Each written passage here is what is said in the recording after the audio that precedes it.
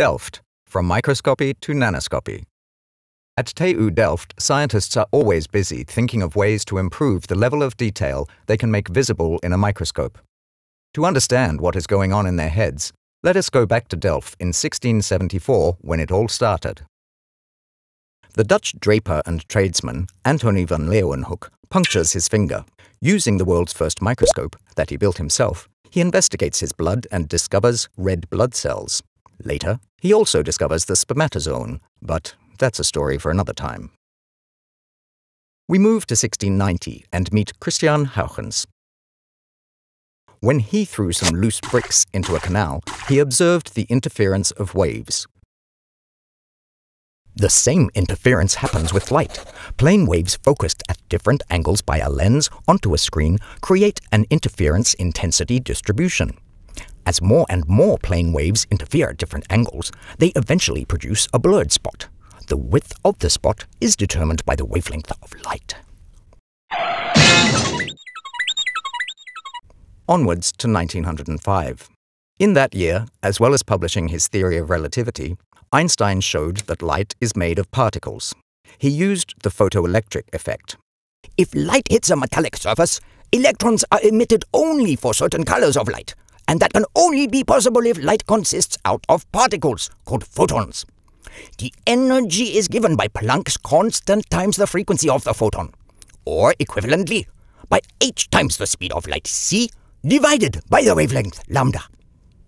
For these and other contributions to quantum mechanics, Einstein received the Nobel Prize in 1921.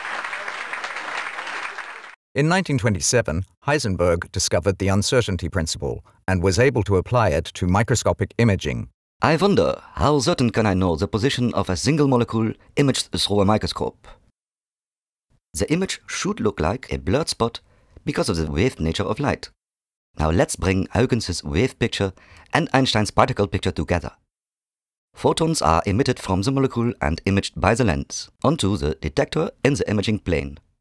The photons arrive one by one and form a small blob, its width proportional to the wavelength of light. The maximum angle of waves captured by the lens and focused onto the detector is alpha. From Einstein, I know that the momentum of a photon is Planck's constant h divided by the wavelength of the photon. If a molecule now emits a photon, its momentum parallel to the detector changes in an unknown direction by plus or minus of h divided by lambda, multiplied by the sine of alpha. And if the molecule emits n photons, the spread in the change of momentum is the square root of n times this expression. If we now substitute this into my uncertainty relation, delta x times delta p is h, we arrive at an expression for the uncertainty for the position estimate of the molecule that is given by the wavelengths and the number of photons. Because I combine the wave and particle character of light, I know exactly how precisely I can localize a single molecule. Let us leave Heisenberg, partying away in 1927, and move to 2006, when Eric Betzig and Harold Hess take the next step. In Harold Hess's living room is a strange setup. Using a photochemical effect, the two men let single molecules blink, and this is a breakthrough. If you image many molecules at once, you cannot measure all of their positions because of the significant overlap of their spots. Compare this with stargazing. Two stars very close to each other appear as a single blurred spot.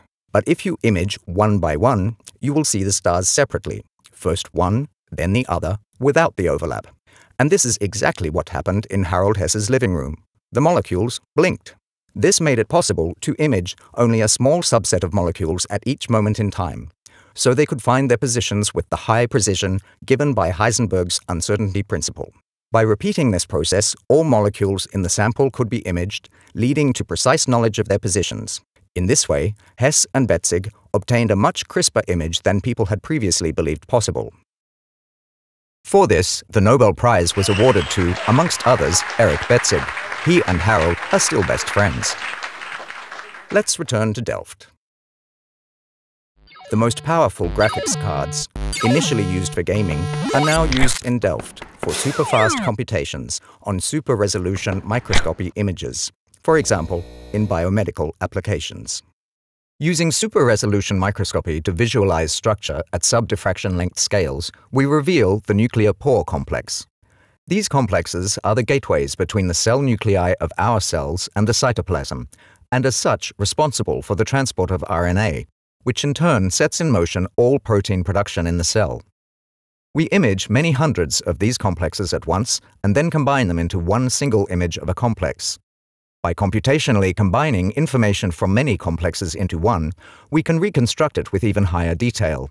We see the eightfold symmetry of the complex and can estimate its diameter to 164 plus or minus 0.5 of a nanometer. Sub-nanometer precision measurements with a light microscope. Microscopy in Delft. The story continues.